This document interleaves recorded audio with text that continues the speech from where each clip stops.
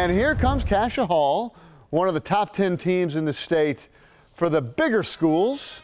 The uh, Falcons off and running and were fantastic tonight. It was a tough game for that Cascia Hall team. I, I tell you, defense legit, man. Dantes Fagan, the hit of the night. Falcon defense, I'll just say it again, it was lights out. All night long, all over the quarterback. Perry Lewis, a big hit. See, here's the deal, though. You, you can't win if you don't score any points. And for Millwood, so they didn't even need their offense. It's Dantes Fagan for the second time in these highlights. Man, pick six. Millwood rolling, dominating. 38-7. They're certainly one of the best teams in the state. And I'm talking any class in the state. I think they'd like to play some of those big schools.